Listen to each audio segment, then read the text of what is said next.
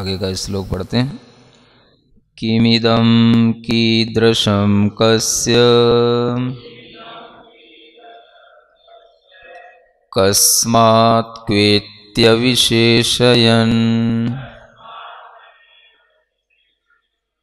कस्मात् क्वेत्यविशेषयन्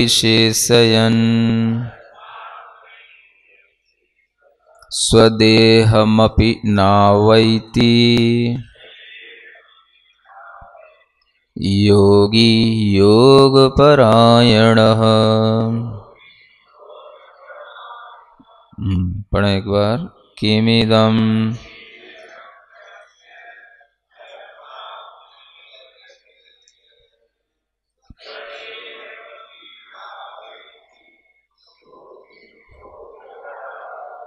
हम्म, निरंतर ध्यान में लीन योगियों की दशा का वर्णन किया जा रहा है।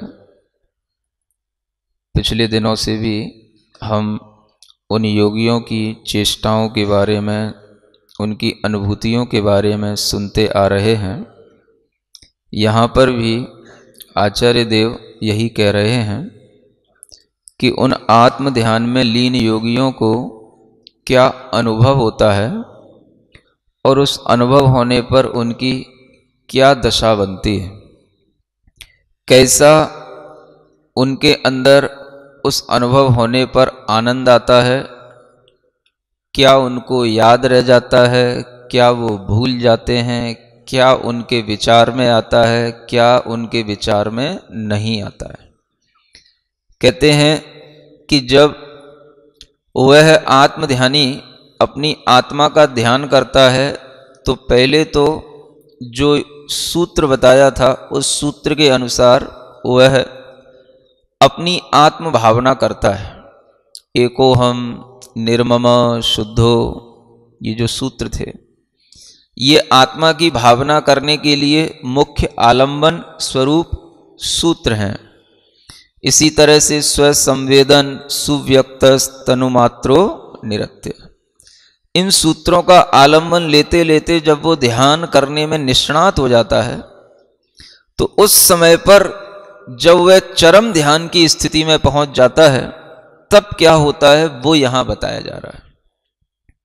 ये तो प्रारंभ में क्या होता है आपने सुना, जब तक मन में ये ध्यान रहा कि मैं ये विचार कर रहा हूँ, मैं एक हूँ, मैं शुद्ध हूँ, तब तक ये सविकल्प दशा कहलाती ध्यान की जिस दशा में अपने अंदर ये भावना रहे कि मैं यह कर रहा हूँ, मैं ऐसा हूँ, तब तक वह सविकल्प ध्यान की दशा कहलाती है।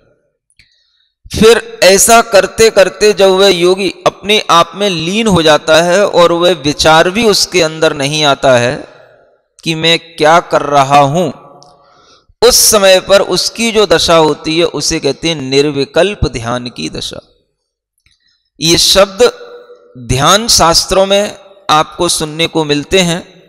सविकल्प ध्यान, निर्विकल्प ध्यान। ऐसे ही दो शब्द और आते हैं, सविचार ध्यान और अविचार ध्यान। जिस ध्यान में विचार चलता रहे, वो कहलाता है सविचार ध्यान। और जिस ध्यान में विचार न रहे, उसे कहते हैं अविचार ध्यान। आप जैन होकर के भी आपके शास्त्रों में शब्द उपलब्ध हैं, फिर भी आपको पता नहीं है कि ये ध्यान के लिए प्रयुक्त किए जाने वाले शब्द हैं। और जो लोग ध्यान के अनेक शिविर लगाते हैं, जो जैन नहीं हैं, वो लोग भी इन्हीं नामों को लेकर के ध्यान कराते हैं। निर्विकल्प ध्यान की दशा, अविचार ध्यान की दशा, सहज योग ध्यान की दशा इन सब दशाओं का नामांकन करते हुए वो ध्यान करते हैं, करवाते हैं और उस ध्यान में वो उसी निर्विचार स्थिति में ले जाते हैं जिस निर्विचार स्थिति के बारे में यहाँ बताया जा रहा है। यद्यपि यह स्थिति बहुत कुछ श्रावकों के लिए संभव नहीं है श्रमणों में भी किन्हीं किन्हीं ध्यान में लीन श्रमणों के लिए ही संभव होती है, फिर भी अनेक श्रावक अनेक जगहों पर इस प्रकार से ध्यान के आकर्षण के माध्यम से लोगों को निर्विचार स्थिति में पहुंचाते हैं। और उस निर्विचार स्थिति में पहुँचाने का उनका ध्येय यही रहता है कि जब तक आप विचार शून्य नहीं होंगे, तब तक आपके मन के अंदर शांति नहीं होगी, आप तनाव से मुक्त नहीं होंगे। उस निर्विचार स्थिति में पहुँचाने पर, वहाँ पर भी वह इन्हीं सूत्रों का उपयोग करते हैं और जैसा यहाँ पर लिखा जा रहा है, वैसा उन्हें अनुभूत तो नहीं होता, लेकिन उपयोग और प्रयोग तो इन्हीं सूत्रों का किया जाता है। आचार्य कहते हैं, जिस समय पर कोई ध्यान में लीन आत्मा अपने उस ध्यान की स्थिति में उत्कृष्टता को प्राप्त हो जाता है, जिसे हम कहते हैं परम ध्यान की दशा, उस परम ध्यान की दशा में उसे क्या अनुभव होता है, वो यहाँ बताया जा रहा है। आप वह अनुभव भले ही ना कर सकें, लेकिन जान तो सकते हैं कि उन ध्यानियों को क्या अनुभव होता है। किम इदम यह क्या है? यह क्या है का मतलब? उन्हें अपनी आत्मा के बारे में भी यह ज्ञान नहीं होगा कि यह आत्मा है या अनात्मा है, यह क्या है, यह क्या नहीं है। ये प्रश्न भी वहाँ पर उठेगा नहीं विचार में।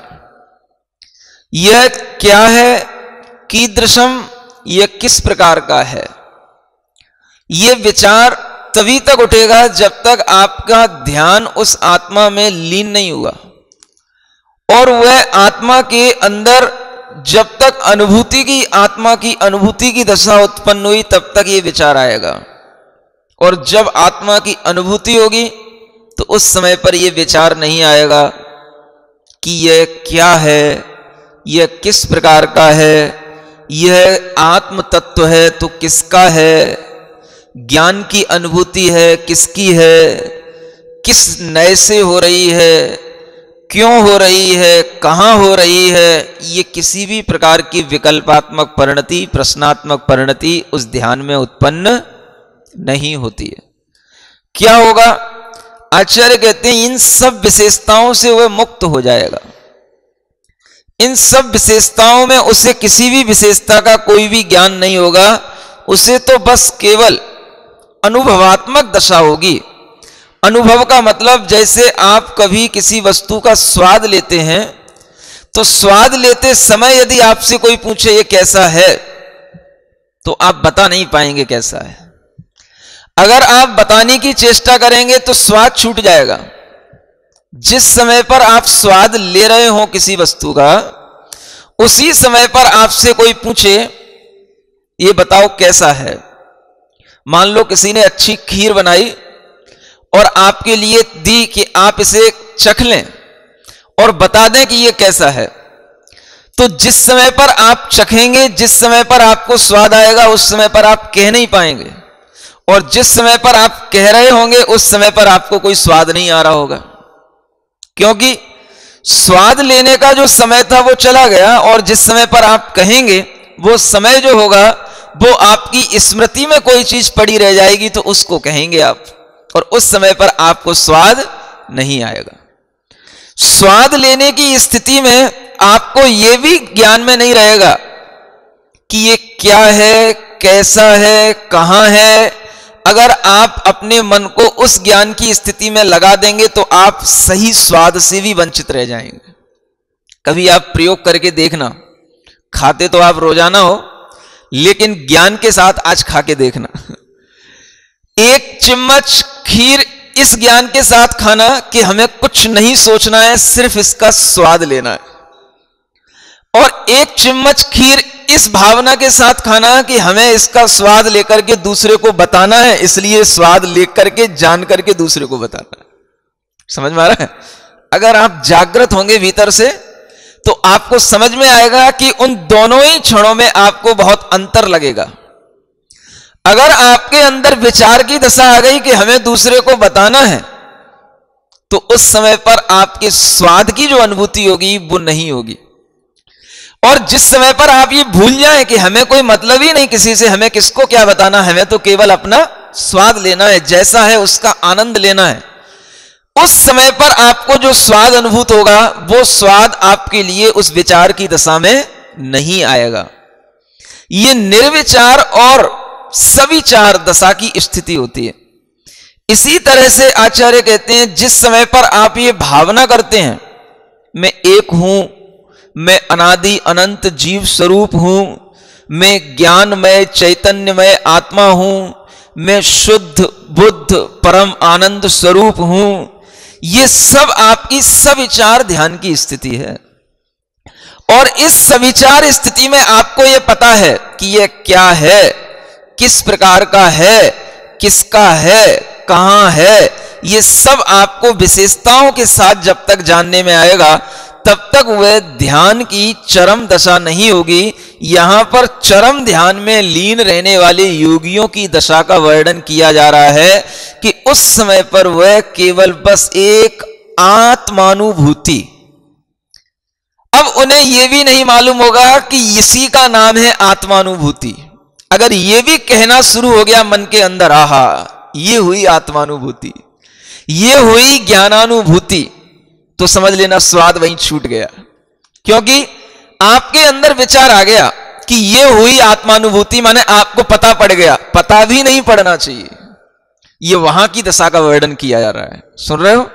जिस लेवल पर हम नहीं पहुँचे, कोई बात नहीं, लेकिन उसकी चर्चाएँ तो हम सुन करके, पढ़ करके, समझ करके समझ सकते हैं कि वो कितना आनंद होता है उस आत्मानुभूति में जब आचार्य कहते हैं, आप अपने शुद्ध नय से शुद्ध आत्मा को ही अपना ध्येय बनाते हैं तो आपको यह ज़रूरत ही नहीं पड़ती है कि हम अपने मन को कहीं और लगाएँ, मन को रोकें, मन को विकारों से मुक्त करें। लोग अनेक तरीके के प्रयास करते हैं। लेकिन ये सब मन की परिणतियाँ उस आत्मानुभूति के साथ में अपने आप बनती चली जाती हैं। आप केवल बस आत्मा की ओर मन को उन्मुख करें, मन विकारों से मुक्त होता चला जाएगा। कई लोग कहते हैं, मन को पहले विकारों से मुक्त कर लो, फिर बाद में आपके अंदर एक प्रज्ञा उत्पन्न होगी। उस प्रज्ञा से आपको जो दिखेगा वही आत्मा होगा। और यहाँ आचार्य कहते हैं, आपका मन विकारों से मुक्त होता चला जाएगा, बस आप आत्म ध्यान में रुचि बनाओ। आया था ना? यथा यथा समायाति संवित तत्व मुत्तम जैसे जैसे आप अपने उत्तम तत्व में संवेदना को बढ़ाते चले जाएँगे, रुचि को बढ़ाते चले जाएँगे, आपके अंदर विषयों की रुचि घटती चली जाएगी। और आपका मन विकारों से मुक्त होता चला जाएगा। मन जब विकारों से मुक्त हो जाएगा, अपने आप स्थिर हो जाएगा और स्थिर मन अपने आप आत्मा में लीन हो जाएगा। आत्मा में लीन होने की स्थिति में ही उस मन के अंदर ये विचार भी नहीं आता कि ये क्या है, कहाँ है, किस प्रकार का है, कैसा है। आचार्य कहते हैं कि ये विचार की परिणति भी आपके अंदर एक आपकी उस ध्यान की अवस्था से दूर करने वाली है। ध्यान में विचार नहीं होता और जहाँ विचार होता है वहाँ पर ध्यान नहीं होता। लेकिन फिर भी ध्यान तो करना है। तो ध्यान करने से पहले जो विचार होगा, वह विचारात्मक ध्यान ही कहलाएगा। उसे हम सविचार ध्यान कहेंगे, उसे हम व्यवहार ध्यान कहेंगे। इसे निश्चय ध्यान कहा जाता है। जो परम ध्यान की स्थिति कही जाती है, यहाँ पर किसी भी प्रकार का कोई विचार ही उत्पन्न नहीं होता। मात्र शुद्ध नय से जो आत्मा की अनुभूति है, बस उस अनुभूति का वह आनंद लेगा। और आचार्य कहते हैं कि शुद्ध नय से होने वाली उस आत्मानुभूति का नाम ही ज्ञानानुभूति है। जो आत्मानुभूति है, वही ज्ञानानुभूति है, क्योंकि आत्मा ज्ञान से अलग नहीं है। आत्मा की उसी अनुभूति का नाम ज्ञानानुभूति है और उसी नय से उसे कहा जाता है, जिस समय पर वह शुद्ध नय के माध्यम से आत्मानुभूति में लीन हुआ, मने शुद्ध आत्मा की अनुभूति उसे हुई तो वो कहलाएगी शुद्ध नय से आत्मानुभूति, शुद्ध नय से ज्ञानानुभूति। और ये आत्मानुभूति और ज्ञानानुभूति की दशा में उसके अंदर कोई विचार नहीं रहता और विचार जहाँ आ जाता है, वहाँ अपने आप में एक फासला बन जाता है। फासला जानते हो? दूरियाँ। जहाँ विचार आएगा, वहाँ पर दूरी बन जाएगी। और जहाँ दूरी बनेगी तो वहाँ पर अपना ही ज्ञान अपने काम में नहीं आएगा। कैसे? एक उदाहरण से आप इसे समझें। मान लो कोई व्यक्ति डॉक्टर है। जब उस डॉक्टर का लड़का बीमार होता है तो वह डॉक्टर उस लड़के का इलाज नहीं कर पाता है। छोटी मोटी बीमारी की बात नहीं कर रहे हैं। मान लो वो डॉक्टर हार्ट का सर्जन भी है। और उसके बेटे के लिए अगर रोग हो गया है तो वो डॉक्टर उसकी सर्जरी नहीं कर पाएगा जो उसका पिता है। जानते हो क्यों? उसका एक कारण यह है कि उसके विचार में फासला बहुत कम है। किसका फासला? उसके ज्ञान का और उसके विचार का फासला। क्यों कम है? क्योंकि उसे पहले अपना बेटा दिखाई दे रहा है। और जब बेटा सामने आ जाएगा, बेटे के रूप में वह जब उसको देखेगा तो वह उसके लिए ऑपरेशन कर ही नहीं पाएगा, क्योंकि उसे बेटे का मोह सताने के कारण से उसके अंदर का विचार, उसके ज्ञान को जैसे काम करना चाहिए, वैसे काम नहीं करने देगा। इसलिए आप देखना कि जो बड़े बड़े डॉक्टर होते हैं, वो अपने बेटों को, अपने घर के परिवार के जितने निकट संबंधी होंगे उनका इलाज करने के लिए दूसरे डॉक्टरों के पास ले जाएँगे, क्योंकि जहाँ पर उस मोह भाव की दूरी होगी, वहीं पर आपके अंदर उस ज्ञान की परिणति होगी, और जहाँ पर वह मोह भाव की दूरी कम होगी, मोह भाव आपको अधिक दिखाई देगा, वहाँ पर आपके ज्ञान की परिणति भी काम नहीं करेगी। ये हमेशा होता है। ये ज्ञान और विचार इन दोनों के बीच में जो फासला होता है, वह फासला जितना अधिक होगा, उतना आपका ज्ञान बाहर की ओर काम करेगा। और जितना वह फासला कम होगा, उतना ही आपका ज्ञान काम करना बंद कर देगा। जब विचार और ज्ञान के बीच में फासला बिल्कुल कम हो जाता है तो विचार छूट जाता है, बस केवल ज्ञान ही ज्ञान काम करने लग जाता है। ये परिणति जब आ जाती है तो उस समय पर आचार्य कहते हैं कि आपको कुछ भी महसूस नहीं होगा, केवल बस अपने ज्ञान मात्र की अनुभूति करना।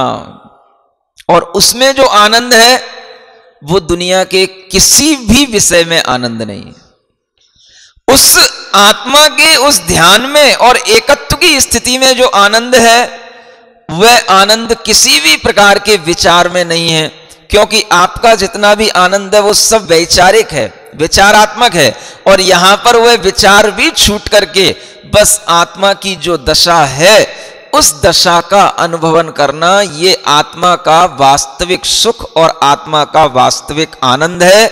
इसे कहा जाता है अपना प्योर आनंद, प्योर सुख माने वास्तविक आनंद और वास्तविक सुख। इस सुख की स्थिति में और क्या होगा? तो आचार्य कहते हैं, स्वदेहमपि ना वैती। वह योगी जो योग में परायण होता चला जा रहा है, वह अपनी देह को भी नहीं जानता है।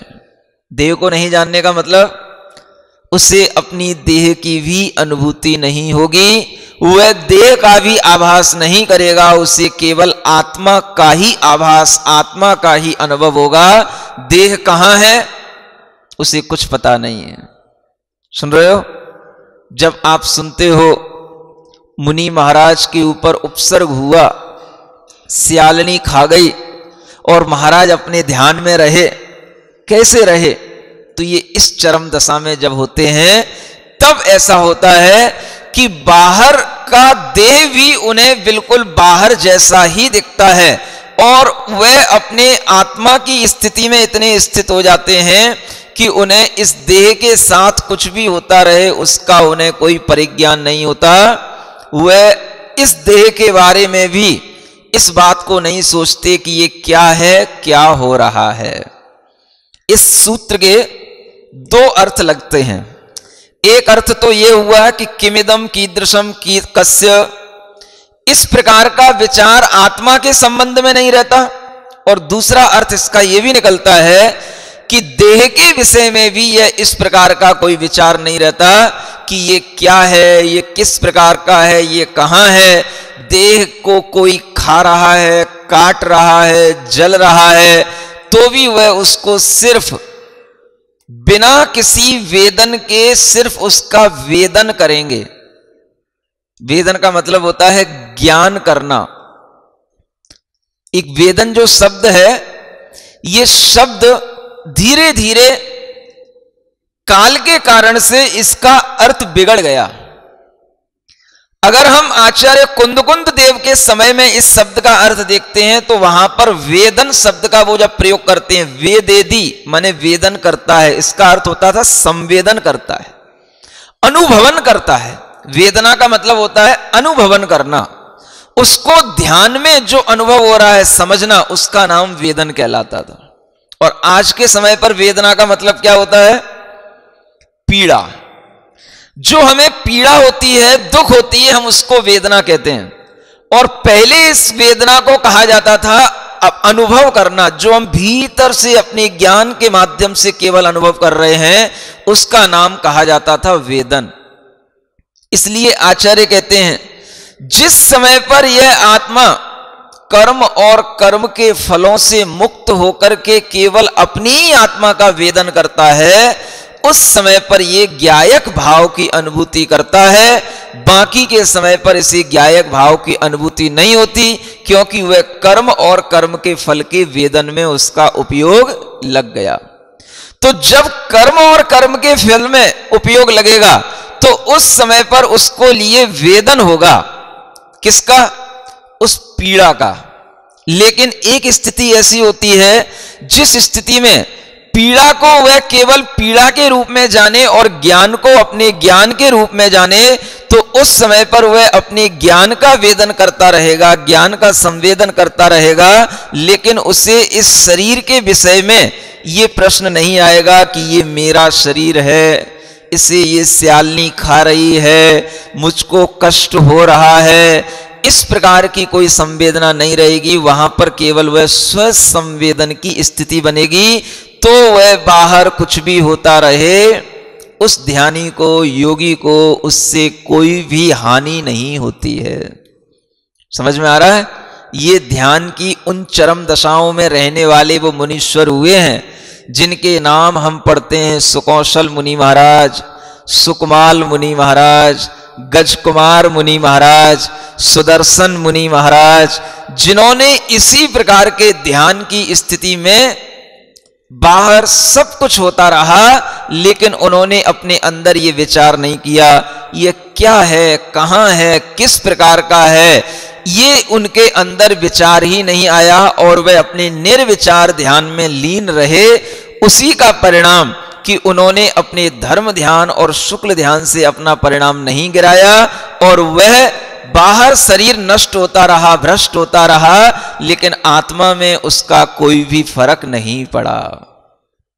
जानक भावो दु अहमिको आचार्य कुंद कुंदेव कहते हैं, बस एक ही अनुभूति वहाँ पर होगी, मैं जानक भावो, माने मैं ज्ञायक भाव वाला हूँ मैं बस एक, माने जो मेरे लिए अनुभव में आ रहा है, बस वही एकमात्र मैं हूँ। इसके अलावा और कुछ भी मैं नहीं हूँ।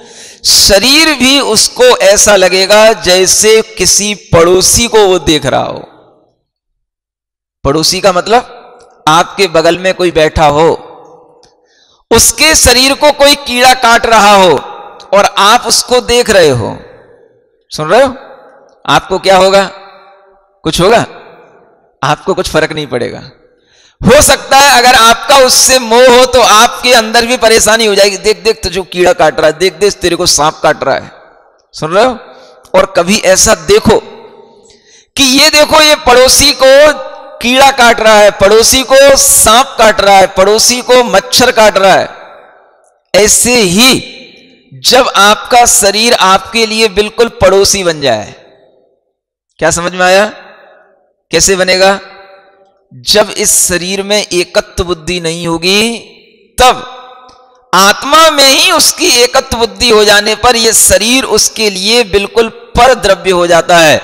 और उस पर द्रव्य की स्थिति में उसे ये लगता है कि ये जो शरीर में जो कुछ भी हो रहा है, वो मुझमें नहीं हो रहा है, वो शरीर में हो रहा है, क्योंकि शरीर उसको बिल्कुल अपने से दूर दिखाई देता है।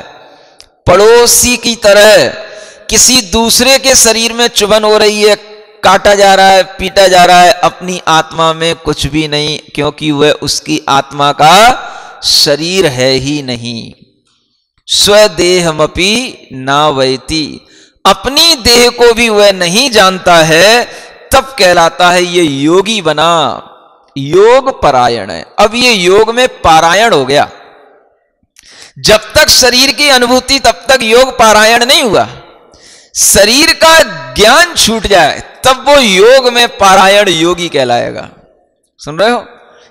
कितने बड़ी बड़ी उत्कृष्टता को लिए हुए शब्द हैं, जो जैन दर्शन में योगी किसे कहते हैं?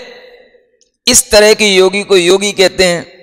और आज के इस लौकिक जगत में आप देखोगे तो जो बड़े बड़े आसन लगा ले, एक टाँव, एक पाँव पे खड़ा हो जाए, एक टांग को दूसरी जांग पे लगा के खड़ा हो जाए ताड़ आसन लगा ले, मकरासन लगा ले, उनका नाम योगी है।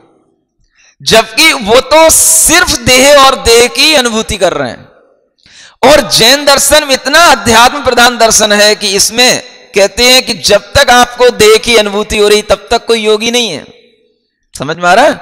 ये योगी बाबा, ये योगी रामदेव, ये योगी फलाने देव, समझ में आ रहा ना कितने कितने बाबा और कितने कितने देव हैं। लेकिन ये सब कहीं पर भी आत्मानुभूति से जुड़े हुए लोग नहीं हैं। इसीलिए ये योग तो खूब बढ़ जाते हैं और आत्मानुभूति से जुड़े हुए जो योग हैं, इनमें किसी को कोई इंटरेस्ट नहीं आता है, जबकि वास्तविक योगी तो वही होता है जो अपनी आत्मा में अपने मन वचन काय को जोड़ ले, उसी का नाम योगी। योग का मतलब क्या है? जोड़ लेना, जुड़ जाना। बोलते ना, इसका योग कितना हुआ? Five plus four is equal to nine योग कर दिया। जुड़ गया तो वह उन सब चीज़ों से बढ़कर के हो गया, जिसको हमने अलग अलग रखा था। मन, वचन, काय, इन सब में आत्मा की शक्तियाँ बह रही हैं। और इन तीनों की शक्तियों को इकट्ठा करके जब हम अपनी आत्मा में लगा देते हैं तो वही आत्मा की शक्ति, अनंत शक्ति के रूप में हमें अनुभव में आने लग जाती, इसका नाम है योग।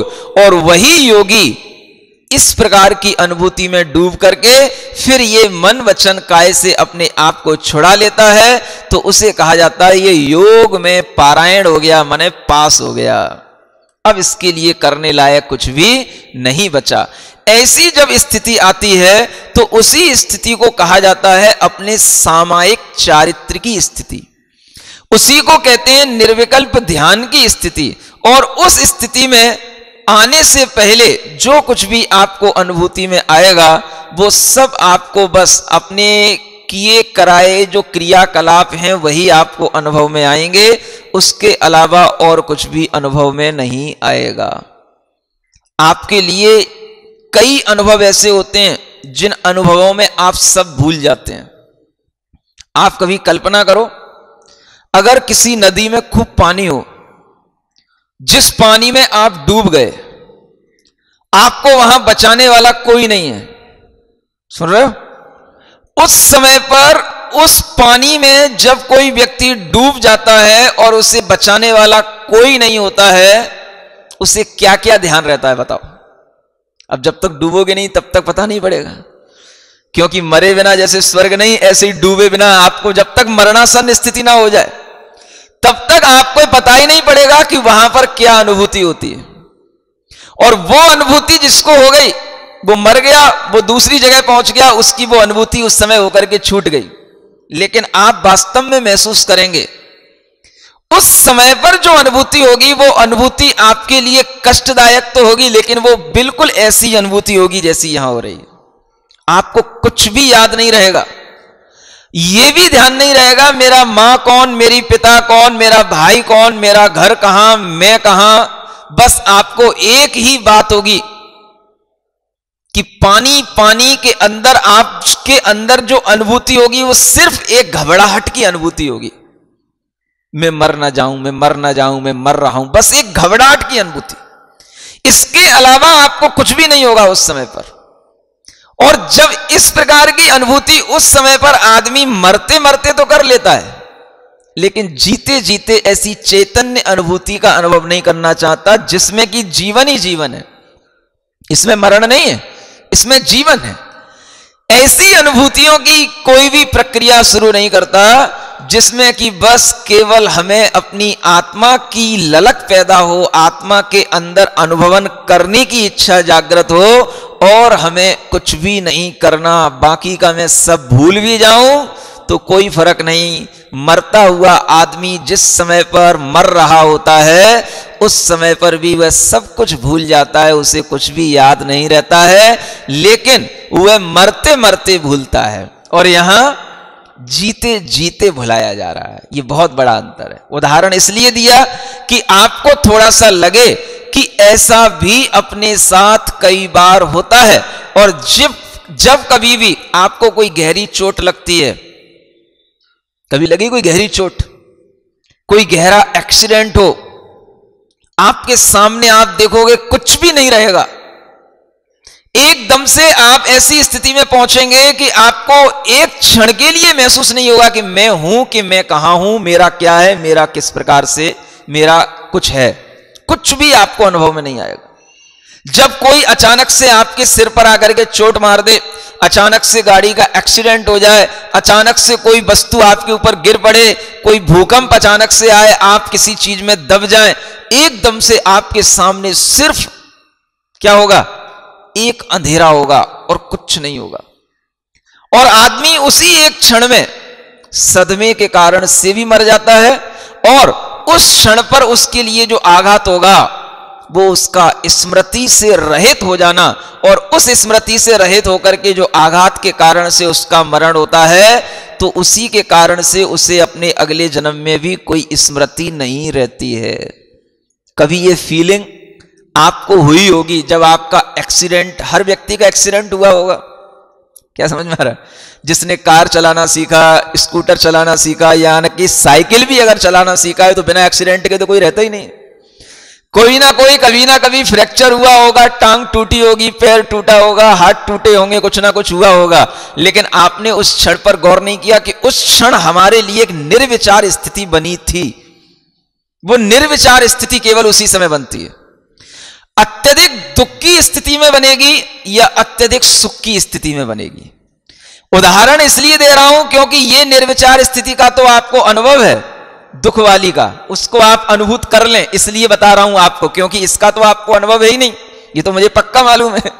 क्योंकि इस अनुभव में उतरे होते, तब तो तुम्हारी ये दशा रहती ही नहीं। तब तो तुम्हारे सामने फिर कुछ और ही आनंद होता, और हमेशा आकर के हमारे सामने बैठते, कहते, महाराज आत्मा के ध्यान में बड़ा आनंद आता है। अगर कभी भी उस दशा को छुआ होता तो कहते, और ऐसा आज तक किसी ने कहा ही नहीं। किसी को तो आत्मा की ध्यान की बात छोड़ो, आत्मा की बात और ध्यान की बात सुनने में भी आनंद नहीं आ रहा हो। ऐसे भी लोग हो सकते हैं कि महाराज ये बोलते क्या रहते हैं? अब जो विषय होगा वही तो बोला जाएगा। तो ये जो चरम स्थिति है आनंद की, इसको आपने अनुभूत किया ही नहीं। और जो अनुभूत किया है, वो उस क्षण जैसा आपको लग रहा है। मैं उस क्षण की तुलना आपको यहाँ से करा रहा हूँ। उस क्षण को आप याद करो जब आपका कोई एक्सीडेंट हुआ हो गहरा। सुन रहे हो? और उस समय पर आपको क्या लगा? आप ये भी भूल जाओगे कि क्या हुआ। ये भी ध्यान नहीं रहेगा आपको, क्या हुआ। और ऐसा कई बार होता है, सबके साथ होता है, हमारे साथ भी कई बार हुआ। कई बार ऐसे एक्सीडेंट होते होते बचते हैं, मुनि अवस्था में भी ऐसा हो जाता है। जबलपुर की बात है, आचार्य महाराज, जबलपुर से एक गाँव पड़ता है, सहजपुर। हाँ तो उधर की ओर जा रहे थे। मड़िया जी से निकले और उधर पूरे संघ के साथ विहार हो रहा था। आगे आचार्य महाराज चाह रहे हैं, मुनि महाराज पीछे चल रहे हैं, कोई अपने साथ दो महाराज, कोई तीन महाराज, ऐसे सब चल रहे हैं, पीछे श्रावक चल रहे हैं, गृहस्थ चल रहे हैं, सब चल रहे हैं, पूरा सब कुछ। पूरा जलसा चल रहा है साथ में दूर दूर तक लाइनें दिख रही हैं। सुन रहे हो? और होता क्या है? जिसके साथ जो होना होता है, वो उसके साथ ही होता है। हमारे साथ भी कई महाराज चल रहे हैं, पीछे चल रहे हैं, आगे चल रहे हैं, और पता नहीं, एक क्षण में क्या हुआ? जिस रोड पे चले जा रहे हैं, उसी रोड पर साइड से एक ट्रक निकलता है। और वो ट्रक जैसे ही बगल से निकला, एकदम से आवाज़ आती है, चर चर चर चर। और एकदम से वहीं पर स्तंभित होकर के खड़ा का खड़ा रह जाता हूँ। एकदम आँखों के सामने अंधेरा कुछ भी, जैसे कुछ बहुत कुछ घटित होने वाला हो। एकदम से आवाज़ आई, कदम वहीं रुक गए। महाराज साथ में चल रहे थे, पीछे के पीछे रह गए, आगे के आगे ट्रक एकदम से पास हो गया। मुश्किल से दो तीन सेकंड नहीं लगे होंगे और एकदम से समझ में नहीं आया कि ये हुआ का, ये चरचर की आवाज़ कहाँ से आई एकदम से अंधेरा कैसे हो गया आँखों के सामने और वहीं खड़ा रह गया कि कुछ हो ना जाए, इसलिए वहीं पर एकदम से रोक दो अपने आप को। क्या हुआ? वो जो ट्रक निकला था वो ट्रक ऊपर जो पेड़ थे उसकी झाड़ी से टकराया और उसकी जो शाखा थी, वो शाखा उससे टूटी और ट्रक बगल से पास हो गया और उसकी शाखा टूट करके बिल्कुल ऐसे सिर के ऊपर से निकली। एक बाल का अंतर कहना भी बड़ा कहलाएगा। छूती हुई बिल्कुल सामने सामने जैसे मैं देख रहा हूँ, मृत्यु सामने सामने से आ रही हो। ऐसे सू के सामने से निकली सिर पे कुछ नहीं हुआ। जंगा के ऊपर टकराई, टेढ़ी मेढ़ी थी तो जंगा पे टकराई और जंगा पे खरोच आई और वो नीचे गिर पड़ी। एकदम से आँखें खोल करके देखा, लगा कि बहुत कुछ टल गया। सुन रहे हो? बहुत कुछ टल जाता है। बहुत कुछ अपने अंदर ऐसी अल्प आयु की भी स्थितियाँ रहती हैं जो इस संयम के प्रभाव से भी टल जाती अगर हो सकता है उस समय पर मान लो संयम नहीं होता, असंयम दशा में होते, कहीं किसी गाड़ी में होते, बैठे होते तो वो ट्रक से किसी ना किसी स्थिति में एक्सीडेंट होता, वो कोई बहुत बड़ा एक्सीडेंट भी हो सकता था। लेकिन अगर कुछ ऐसी दशा है तो उसके कारण से भी बहुत कुछ टलता है, और जब ये टल गया, एक क्षण उस समय पर क्या अनुभूत हुआ, मैं वही अनुभूति तो आपको बता रहा था। जो एकदम से सामने निर्विचार स्थिति आती है, कुछ भी याद नहीं रहता है। कुछ भी याद नहीं रहता है। मैं कौन, कहाँ, कैसा, किस प्रकार का आपको कुछ भी याद नहीं आएगा। ये जो निर्विचार स्थिति हमारे लिए ऐसे आघातों के समय पर आती है, कष्टों के समय पर आती है, वो निर्विचार स्थिति ऐसी आत्मा के अंदर, आनंद के समय पर भी आती है। लेकिन उस स्थिति में उस आनंद से कोई भागता नहीं है। और इस आन, इस स्थिति में तो डर लगता है, एकदम शौक लगता है। क्या हो गया? एकदम अंधकार सामने। और फिर जब देखा कि ये इसकी चरचर की आवाज़ थी, ये लकड़ी यहाँ से टूटी, पूरा संग चल रहा है, आगे पीछे किसी के साथ कुछ नहीं, जिसके साथ जो होना होता है, उसी के साथ होता है। इसको कहते हैं बाल बाल बच जाना। सुना है ना आपने? बाल बाल बच गए। बाल बाल का मतलब बाल के बराबर वो मृत्यु सामने आई और वो सामने सामने से टल गई, बच गए। जब आचार्य महाराज को शाम को जाकर के बताया कि ऐसा ऐसा हुआ था रास्ते में तो आचार्य महाराज कहते हैं हाँ देखो, जिसका कर्म होता है, उसके साथ ही घटित होता है, ये हमेशा ध्यान रखना। समूह में चलते हुए भी पूरे समूह में किसी के साथ कुछ नहीं। और जिसके साथ होना है, उसी के साथ हो जाता है। अचानक से हम ये भी नहीं समझ पाए कि हमारे साथ वाले आगे पीछे चल रहे थे, ये गए कहाँ? कुछ पता नहीं। कहाँ से ये अपने अपने अलग अलग साइड पकड़ लिए? और जिसके साथ जो अनुभूति होनी थी, वो उसके साथ हो गई। ये हमेशा होता है, ये ध्यान रखना। अपना कर्म इतना अपने साथ में, एकत्व के साथ मिला हुआ रहता है कि अपना ही कर्म अपने को फल देता है और उस फल देते समय पर जो अपने मन में विचार आता है, वह केवल अपने लिए ही होता है और किसी के लिए नहीं होता है। आप कई लोगों के साथ यात्रा करें, कई लोगों के साथ आप जाएँ, लेकिन अगर आपके साथ ही घटित होना है तो आप देखोगे, प्लेटफॉर्म पर सब एक साथ उतरे। एक साथ बैठेंगे, एक साथ गाड़ी आने वाली होगी। गाड़ी आएगी, लेकिन अगर आपकी बुद्धि, आपके कर्म अगर कुछ इस तरीके के तीव्र होंगे, एकदम से सब तितर बितर हो जाएँगे। वो कहीं वहाँ चला गया, वो कहीं सामने गया, आप गाड़ी पर चढ़ने के लिए गए, एकदम से पैर फिसला, बस आपका काम हो गया। क्या समझ में आया? बगल के लोग सब खड़े के खड़े देखते रह जाते हैं। जिसके साथ जो होना होता है, वो उसी के साथ हो जाता है। ये कर्म की दशाएँ हम खूब भुगतते हैं। ये निर्विचार दशाएँ हम खूब भुगतते हैं, लेकिन ये सब दुख के साथ होती हैं। यहाँ आचार्य कहते हैं, जीते जी देखो इसको। ये शरीर तो कई बार इसी तरीके से छूटा है, मिटा है, लेकिन अगर इससे आत्मा का आनंद आ जाए, ये समझ लो, कौड़ी के दामों में तुमने रतन खरीद लिया, रतन। कौड़ी के दाम माने? जो ये कौड़ियाँ होती हैं जो किसी जीव के छूटे हुए शरीर होते हैं। उन कौड़ियों का कोई उपयोग नहीं है, लेकिन उससे तुमने रतन खरीद लिया, क्योंकि आत्मा की अनुभूति इस शरीर के साथ कर लेना, माने इस शरीर की स्थिति तो कौड़ी की तरह है। किसकी कीमत तो कौड़ी के बराबर है।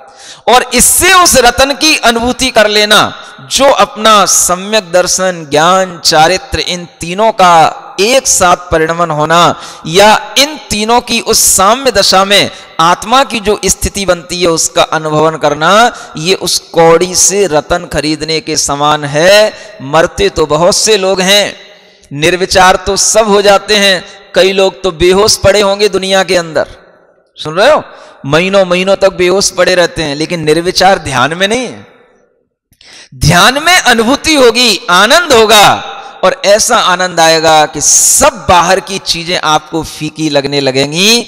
उस ध्यान को यहाँ कहा जा रहा है, ये योगी की जीती जागृत अवस्था है। ये जागृत अवस्था की निर्विचार अनुभूति है और वो मरण से पहले होने वाली निर्विचार अनुभूति है।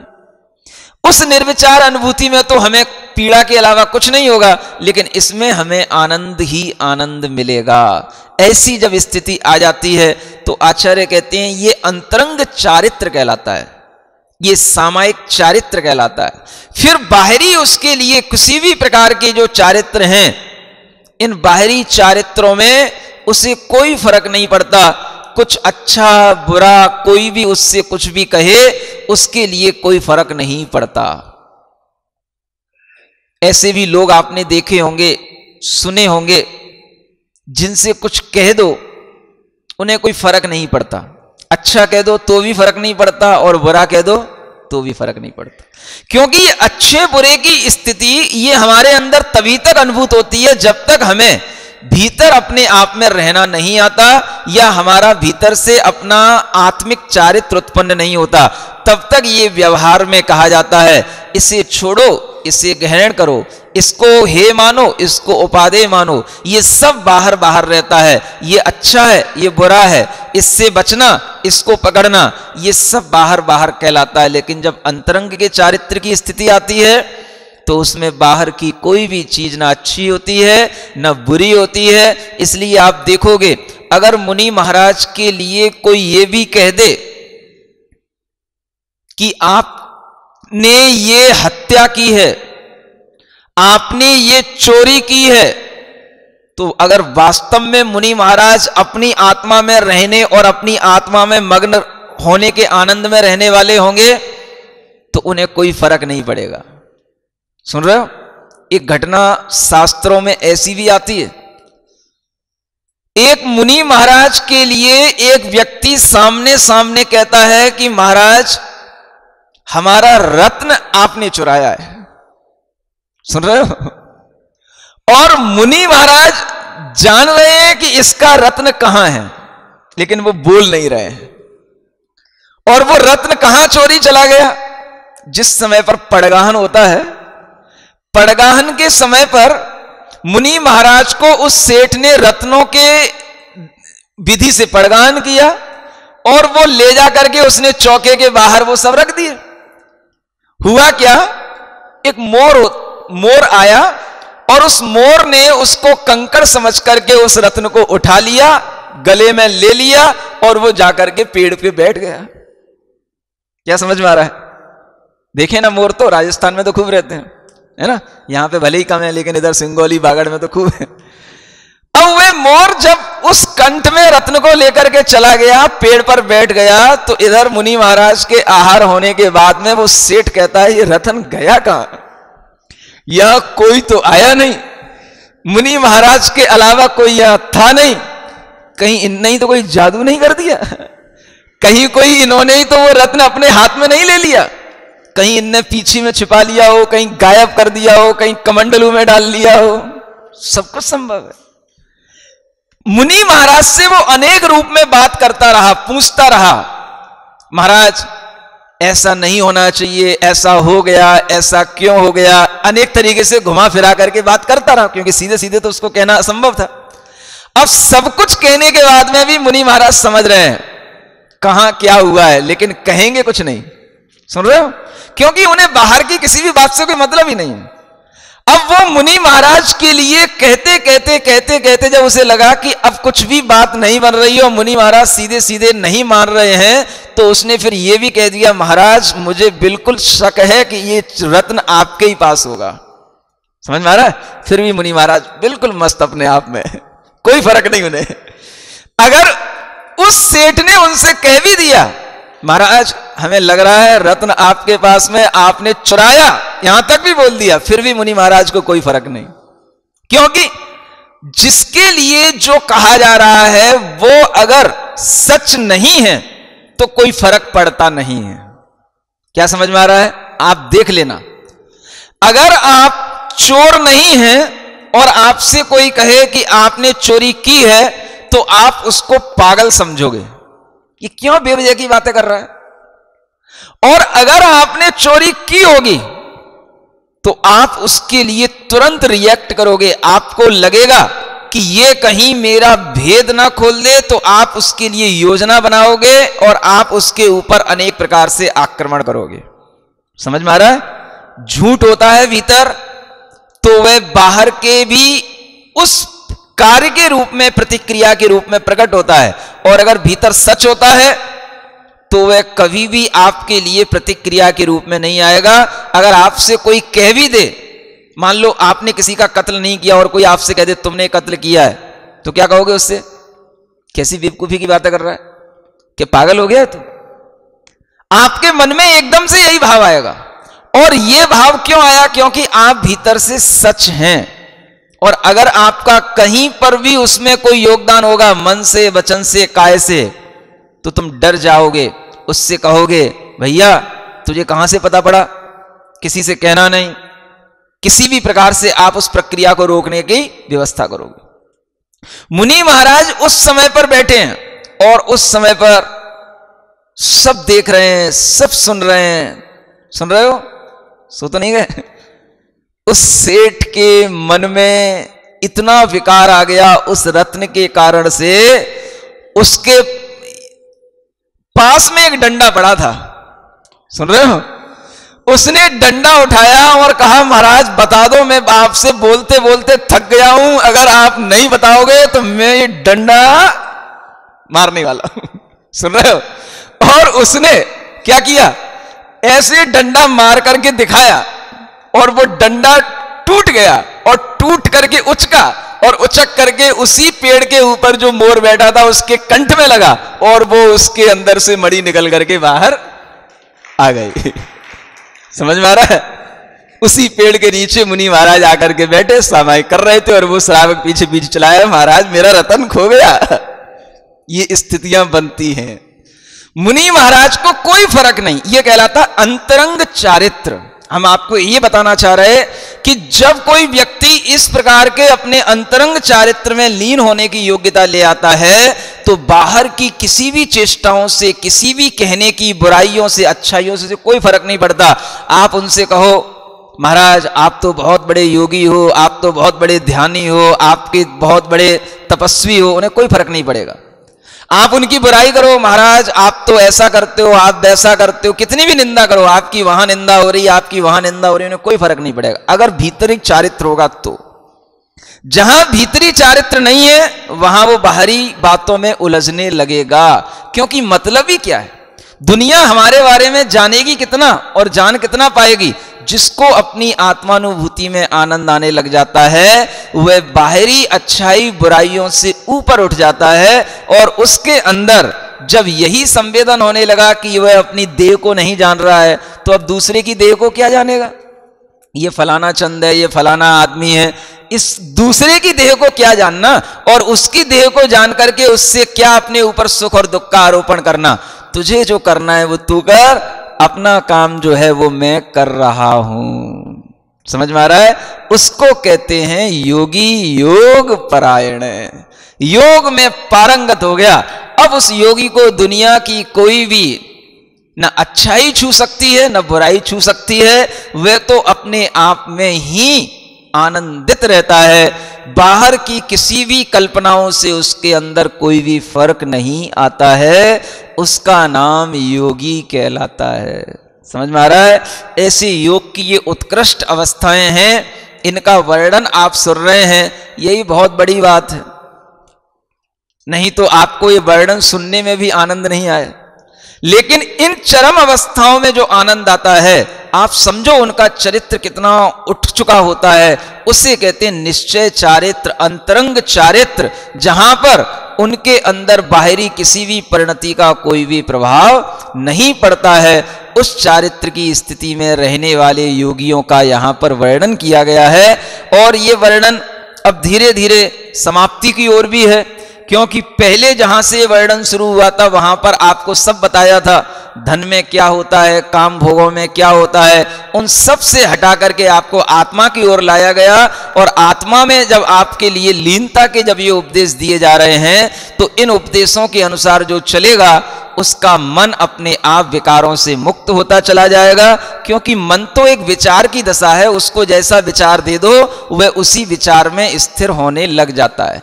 तो मन के अंदर पहले विचार दे दिया गया कि देह का स्वरूप क्या, काम भोगों का स्वरूप क्या, धन का स्वरूप क्या, जब मन ने सब समझ लिया तो अब उसे विचारों से मुक्त करने के लिए कोई भीतर से कोई आयाम नहीं करना।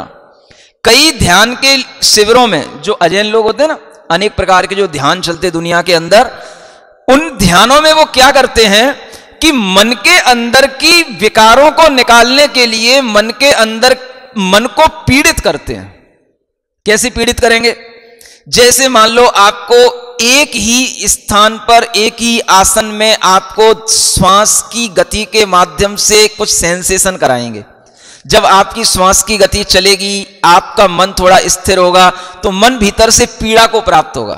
क्योंकि जब किसी पर अनावश्यक ज़्यादा ज़ोर डाला जाता है तो उसे पीड़ा होती है।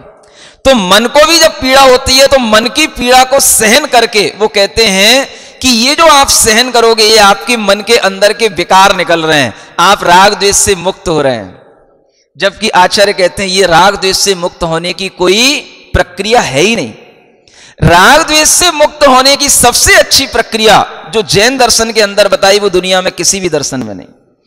आत्मा अपनी नित्य है, आत्मा अपने ज्ञान आदि गुणों से भरा हुआ है। उस मन को बस एक इंटरेस्ट इतना पैदा करा दो कि वो मन आपका आत्मा में लगने लग जाएगा तो मन अपने आप बाहर आकर के राग द्वेष में कमी करने लग जाएगा, उस मन को भी आपको पीड़ा देने की ज़रूरत नहीं है, मन को बस समझाने की ज़रूरत है कि ये सब राग द्वेष के कारण हैं, इन कारणों में अपने को नहीं उलझना। इसलिए वह मन जब आत्मा की भावना करने लग जाता है तो वह मन अपने आप विकारों से मुक्त होता चला जाता है। ये बहुत सरल सीधी प्रक्रिया है। और इस प्रक्रिया को दुनिया के वैज्ञानिक लोग गलत तरीके से प्रस्तुत करते हैं और जो गलत हो रहा है उसको अच्छे तरीके से प्रस्तुत करते हैं, ये भी मैं आपको बता दूँ। क्योंकि आपको पता नहीं दुनिया में कहाँ क्या हो रहा है। ये चीज़ें सब दुनिया में हो रही हैं। ये जो प्रक्रिया है, इतनी सहज सरल है कि इसमें आपको कुछ करने की ज़रूरत ही नहीं है। केवल मन को आत्मा की भावना से युक्त करना। और जब आत्मा की भावना से युक्त हो जाएगा तो शरीर के प्रति उसकी भावनाएँ अपने आप अनासक्त रूप में होने लगेंगी। उसके अंदर अपने आप शरीर जड़ पदार्थ के रूप में भाषित होने लगेगा। जब ये होने लगेगा तो मन अपने आप विकारों से मुक्त होने लगेगा। आपको कोई कष्ट करने की ज़रूरत ही नहीं है। इसलिए आचार्य कहते हैं, भावनाओं के माध्यम से मन को सुधारो। अच्छी भावनाएँ, आत्मा की भावनाएँ जितनी करोगे, उतना आपके मन के अंदर इस शरीर, संसार और भोगों से विरक्ति प्राप्त होगी। ये इसका अर्थ है। इस तरह से ये अध्यात्मलीन योगी की दशा का आपको वर्णन किया। एक पाँच मिनट सीधे बैठ करके एक अच्छी चैन की सांस ले लो।